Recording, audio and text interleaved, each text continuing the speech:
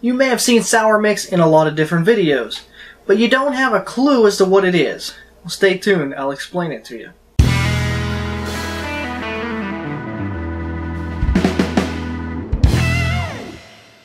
Hey, I'm Eric. I am the idiot at an idiot and his liquor. Today I am making my own homemade sour mix, and I'm going to explain a little bit about what sour mix is exactly.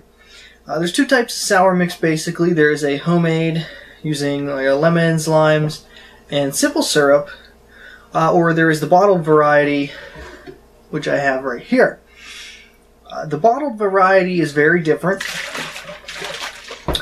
It is, uh, it claims on the label that it is real fruit, but actually it uh, it only contains 8% juice, this brand in particular, according to the label. It's basically uh, concentrate, and what you'll find if you compare the two is that this in the bottle is very heavy in sugar uh, as opposed to what you get if you make from home. It has a much more citrus, uh, strong flavor. So just want to explain that when you use sour mix in recipes, it would be, you know, the same amounts of either one. I'm not going to be one of those guys that tells you not to use the bottled because I'm not really a drink Nazi when it comes to that. But the drinks that I make here uh, are personally uh, using the homemade. So I do have a bottle of this that I bought before I started making it myself. And I didn't mind it until I started making it myself, and then I decided that from then on, I was only using the homemade. So I'm going to get rid of that, get it out of picture, and I'm going to show you how to make some fresh, from scratch, sour mix. Alright, when you're making the homemade sour mix, you just need lemons, limes, and in this bottle is simple syrup. Uh, simple syrup is basically just a mixture of water and sugar, a one to one ratio. So if you use one cup of sugar, you use one cup of water, heat the water up until the sugar is fully dissolved, just stir it up. Make sure you dissolve the sugar well. That's simple syrup. You can also buy it pre-made, and the pre-made lasts longer on the shelf, but it's a lot more expensive as well. But once again, that decision will be entirely up to you. So the ratio that I use for simple syrup I actually got from a website which I'll post the link to down in the description. And it is a two part, two part, one part recipe. It is two parts of lemon juice, two parts of simple syrup, and one part of lime juice. So I usually don't make very big batches. The stuff only lasts for a couple weeks, and the fresher the better when you're dealing with fresh citrus. So first thing I usually do is I'll start by rolling out the limes. And you can do that with the lemons as well. Just roll them out. And what that does is it loosens up some of the juices in there.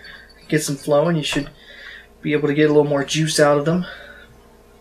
I might add that nothing, nothing smells so good like that citrus smell, the lemons. I mean, even taking them out of the bag, I'm just thinking, wow, these things smell amazing. And so, you know, you give it a nice roll, each one. And if they're really tough, they're really not rolling around very good for you to loosen up. I understand you can throw them in the microwave and it'll loosen them juices up a little bit.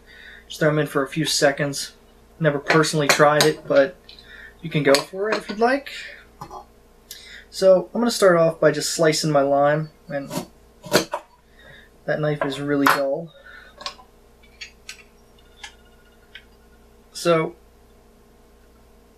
usually it ends up being one lime, two lemons is generally how the yield works out.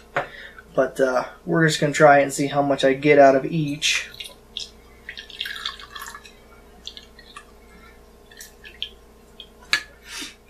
So basically right there, I've gotten,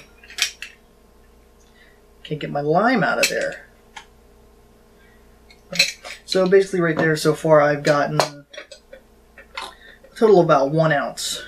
And I'll just pour that in there. One ounce of lime juice is perfect for this. I need that lime anyways for the next drink I'm going to make. So I'm just going to move on to my lemons. That cut way easier for some reason. The knife just sharpened its own on its own.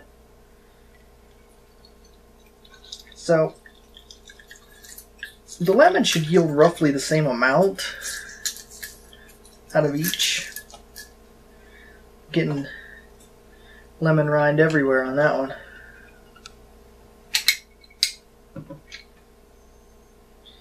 I don't really want that in my mix.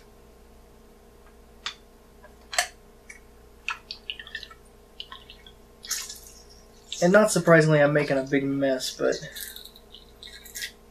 yeah, it's pretty common for me to make a big mess when it comes to these. Alright.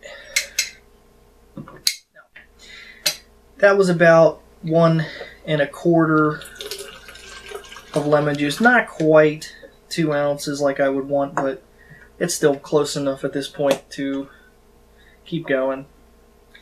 And I'm just going to measure out two ounces worth of simple syrup. Put that in my bottle as well. And if you're good at math, you'll realize that that equals about five ounces that this batch made. That was out of one lime, or one lemon, half a lime, and some simple syrup. Let's give that a quick shake. That's it. That is uh, how you make homemade sour mix. And it's really beneficial to try it out. I would seriously try it. Actually, for comparison's sakes, I am going to take just a little bit of my homemade, pour it into a shot glass here, spilling it everywhere. Cap's not on tight. Usually that five ounce will get you about two drinks worth. Uh, I mean, that's good because, like I said, you want to try and keep as much as fresh as you can, basically. So, I mean, if you're having a party or something, you might want to buy maybe 10, 10 lemons, five limes or something, and make a big batch of it. Uh, other than that, you know, just if you're making single drinks like I do, that works perfect for me.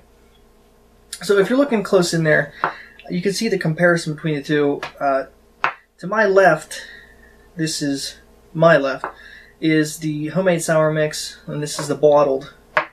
And as you can see, the, the bottled is way yellower. It's much more yellow in color, uh, and that's from the, the coloring they put in it.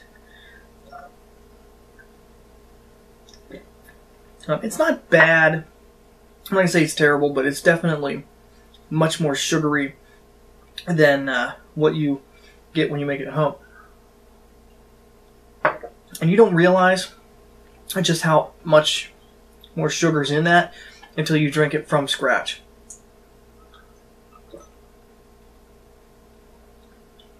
It's amazing. I just, I'm so glad I found that recipe. And honestly, I think if you try it yourself at home, you're going to find it is that much better. And hopefully you'll start making it from scratch yourself.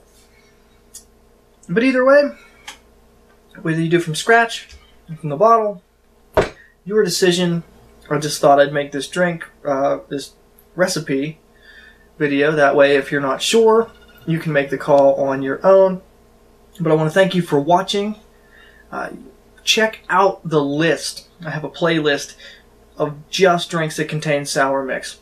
So if you're looking for some drinks that you can use that in, then uh, check that out. The card will pop up on top for you. Thanks for watching, and have some fun making some drinks.